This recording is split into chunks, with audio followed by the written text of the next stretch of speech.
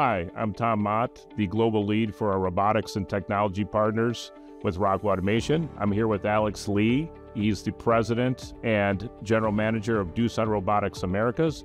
Alex, could you please explain a little bit about Doosan? Yeah, sure. So Doosan is actually uh, one of the oldest conglomerates of South Korea. They have a philosophy of building businesses uh, that enable uh, humans uh, to perform better, right, in everything they do. And so they decided to get into the business of collaborative robots.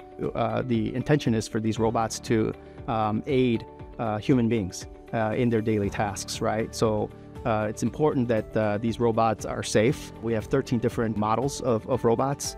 Uh, that allow us to, um, you know, provide solutions for so many different industries, whether it's packaging, automotive, or food processing and we have a robot for each one of those. Yeah, that's great detail. So you, you bring up a good point. Um, and then, you know, with our recent acquisition of OTTO uh, Motors and ClearPath uh, Robotics, the um, you know, I think customers are demanding uh, turnkey solutions around production automation or in autonomous production automation. So, could you describe a little bit around joint solutions? And we're realizing that after you know, the pandemic, labor shortages, and things like that, which just completely uh, opened up a whole new market.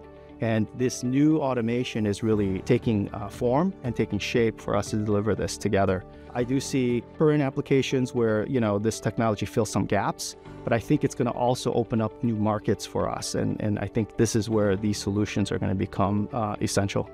Yeah, sure. And and with gaps, uh, were you leaning towards like workforce uh, staffing gaps and things like that? I think people are just trying to embrace how do we leverage technology in order to fill those gaps. But it also is opening up uh, opportunities because this technology lends itself well, especially because of its flexibility and modularity, to do so many things that we never thought of doing with traditional automation.